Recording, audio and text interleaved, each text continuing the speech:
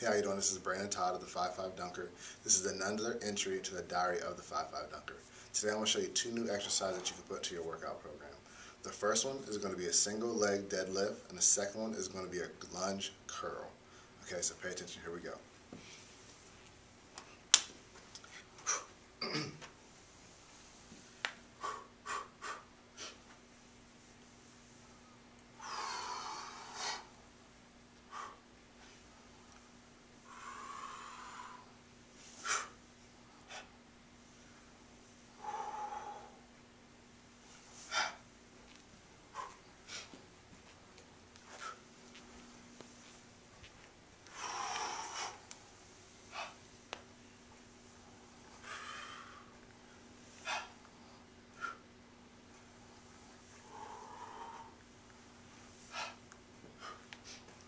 Lunge, curl.